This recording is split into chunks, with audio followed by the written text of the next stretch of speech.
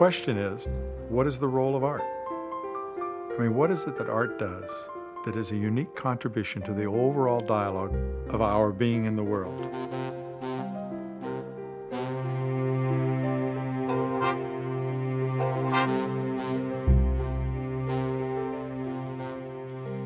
The first thing you have to do is separate art from all the myths that are wrapped around it. And the most powerful myth is to mix up the object with the subject.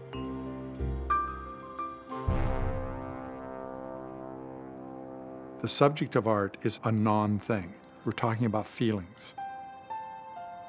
And these feelings have values for us. That is, they enhance, they enrich, they make our lives more interesting.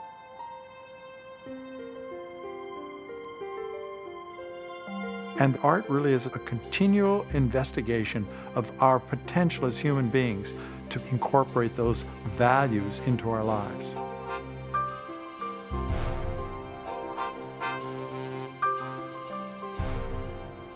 The artist essentially shows you the world in ways you have not seen it before and brings you to look at it again.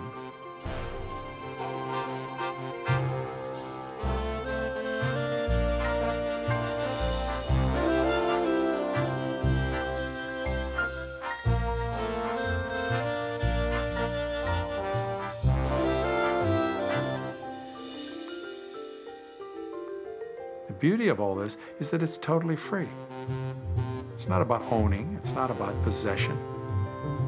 It's about seeing, it's about being aware because it's around you all the time.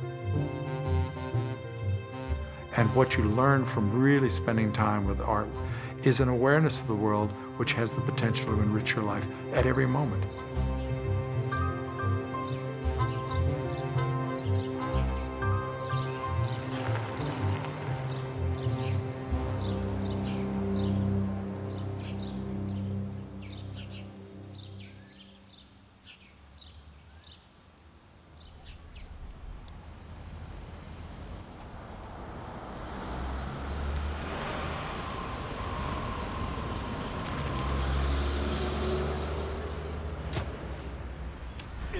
Face, in the footsteps. down the hall. For me to be an artist was not a very easy thing to do. It was not a graceful thing to do. It was a full, all out quest.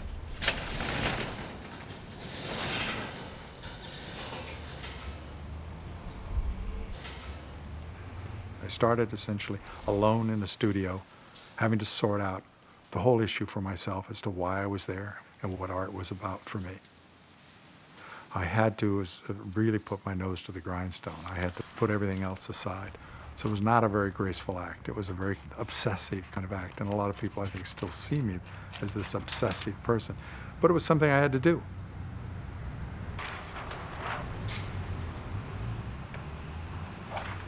What I'm building here in this uh, garage in San Diego is a kind of mock-up for a much larger installation that I'm going to do at the Pace Gallery.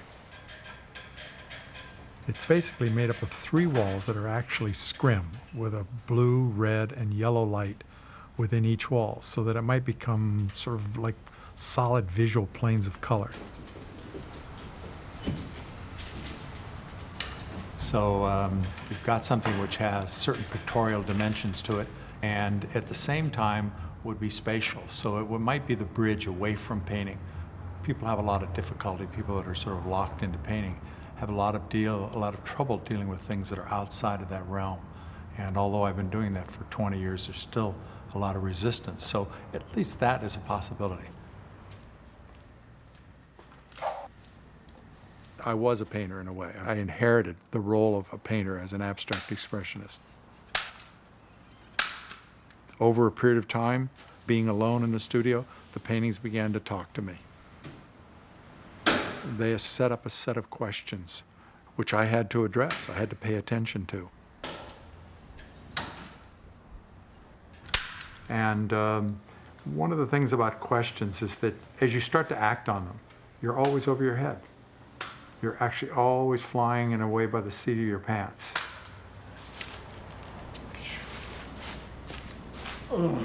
Begin to creak. For example, I could have stopped at the point of being a painter and gone on with infinite variations of that. But after a while, when you get involved with what you're doing and it begins to feed back to you and you begin to understand the possibilities and the consequences of it, and you become hooked on it. You sort of want to see it through, you want to understand where it's going.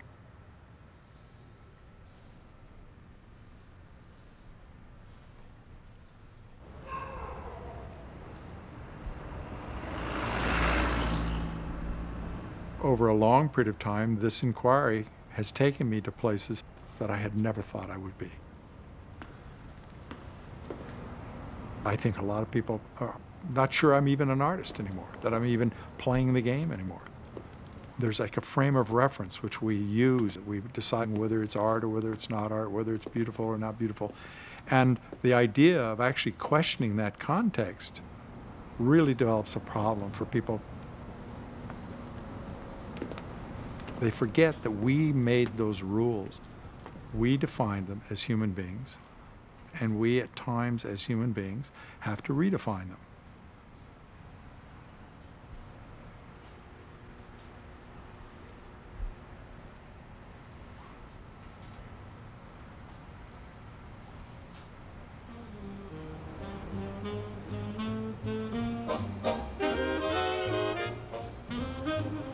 Now, the thing about growing up in California, you get your first car and you're suddenly floating and moving about in the world in a way which I don't think most people ever have the opportunity to experience that. From the time I was 15, I was on the road, always going somewhere, always doing something. And for a young kid, you fix the car up and make it look just a particular way because it was an extension of your identity. This is like your first aesthetic lesson. I mean, sanding, polishing, changing something, adding something, in a sense, stylize that car. So it's a reflection of who you are. And so the car became a kind of way of being in the world that was footloose and fancy free, and where the world is your oyster.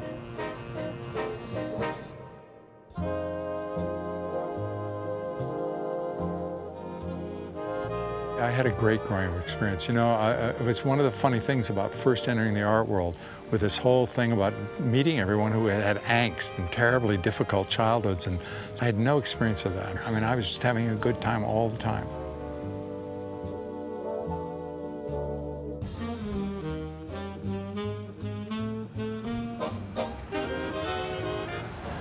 This is the Leimert Theater. Used to change that marquee. It was a nice place worked here, I'd say, for three or four years. You know, I was assistant manager for a while because at 17, everybody was off in the Army at that time. So at 17, you could have a job like that. So I'd close it at 1 o'clock, go over there, try and uh, hitchhike a ride, unless I had a girl stashed in the back row, which was uh, uh, the modus operandi when you worked at the movie theaters, you know.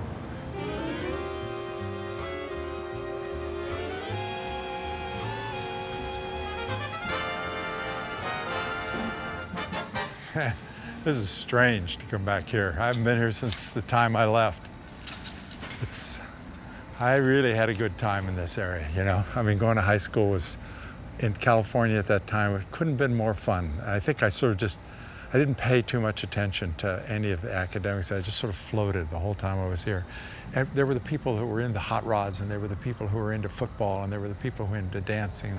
And, and I think dancing was the pivotal element to it. It took me a long time to learn how to dance. I could hardly hear the rhythm and the music when I first started. I, I started dancing with the doorknob at home in, in my bedroom. I must have danced there for a year before I could come here and do it. We used to dance at noon in this circle here, and, and it was called the Lindy, and it was all built around one move, which was called the shoulder twist. The girl came at you, and she, as she passed by, she dropped away, and you caught her like this and swung her around. So you developed this sort of counterbalance thing in which the girl came and moved. And so you started, you know, like that. And the whole thing got into a real smooth, so when the moves were made, they were made like so, you know. Fa, fa, fa.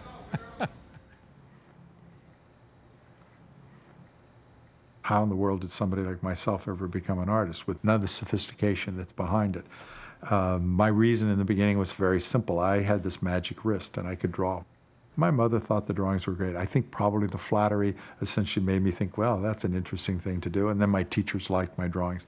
But the problem is, after a while, I, when I got into art school, I had this magic wrist. I mean, I was so clever. I mean, it worked so well. It just had a, like a life of its own. It sort of just went on and went on, and I could do these beautiful drawings, and everybody thought, God, look at him, he's terrific. And what happened is I never got challenged. So I thought I was an artist. I acted like an artist. I looked like an artist. I uh, chewed gum like an artist. You know, I had all the right demeanor, as it were. But at a very young age, suddenly I had this show in this quite famous gallery. And um, I had this one of those nice moments that you get once in a great while where you're not shitting yourself. When you actually, for just that one moment, actually look at your work. Not all colored by your needs and your desires and your wanting to like it, but actually seeing it cold turkey. And it was terrible. I mean, it was terrible.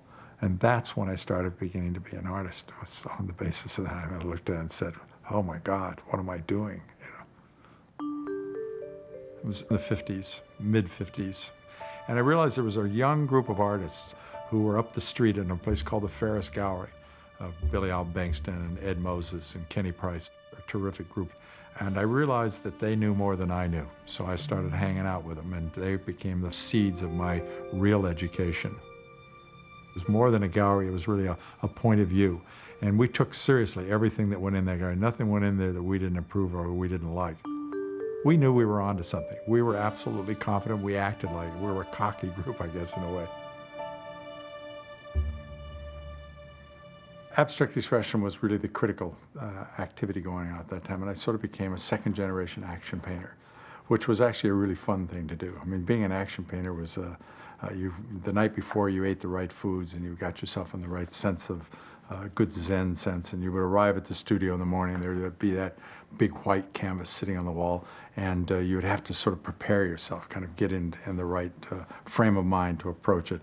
So you'd maybe clean the studio and clean the palette and get everything sort of all balanced and ready to go. And then finally, at one point, you'd make a mark on the canvas and then you'd stand and respond to it. It, you, it, would move and you would move and it was right and you were right and it was wrong and you were wrong. And there was this sort of kind of continuous sort of running dialogue. It was a terrific way to be, to be an artist. It was really fun. And you'd do this pretty much all day. It would just be this incredible kind of give and take all day long. And at the end of the day, you would sort of finish and have a climax and pass out, you know after a while, I would look back at those paintings, and they really, you know, they were just full of holes. And I began to slowly understand more and more that a painting had its own set of rules, that there was a physics of seeing that was at play in a painting. That, for example, two things could not occupy the same spot at one time. So a lot of the gestures and colors had volumes, they had weight, and these things, as they structured themselves in the painting, had to make sense within this physics of seeing. Everything in the painting either works for you or it works against you by the fact that it's simply there. It takes up space, it takes up time, it distracts in a sense. So if it's not really contributing, there's no reason for it. So I began very slowly beginning to sort of take things out of the painting that were not really necessary.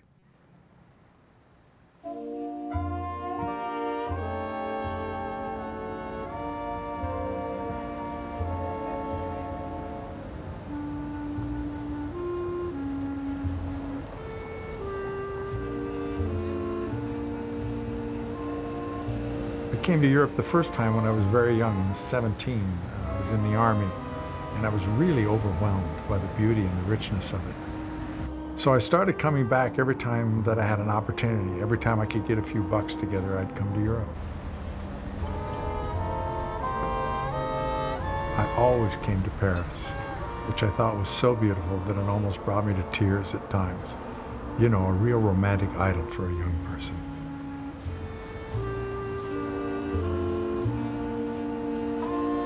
I got in this habit of putting a couple of bottles of beer in my pocket and walking all night long. And I began thinking about being an artist and why not live here? But I realized that to do the kind of searching I was doing, this was the last place to be. It already had a culture, already had its richness. In some ways, Los Angeles was a good place to be. I mean, there's no history, no sense of place, so it's really a good place to challenge ideas to begin at the beginning.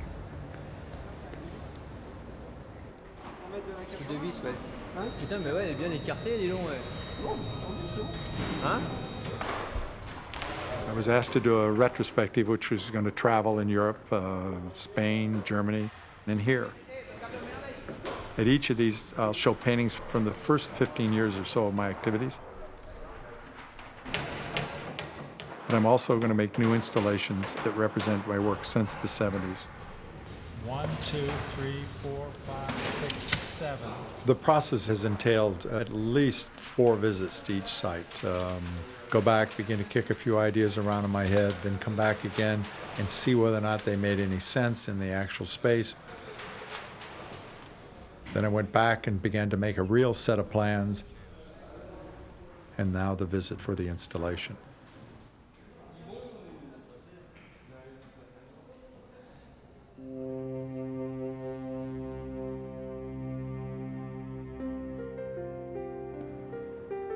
It took something like 70 steps to get up to and through the exhibition. And so every piece in there, in one way or another, themed off of this thing of steps.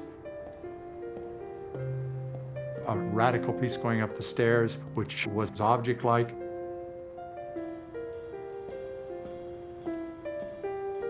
And you went up the staircase, and it ceased to be object-like, but began to become environmental.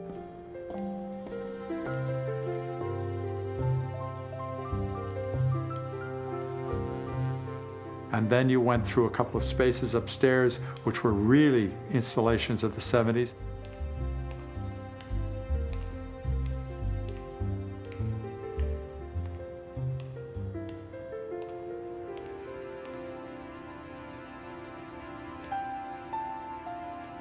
Then you went through a radial room on the back, which was purely just orange, getting to the point of being almost like a blast furnace.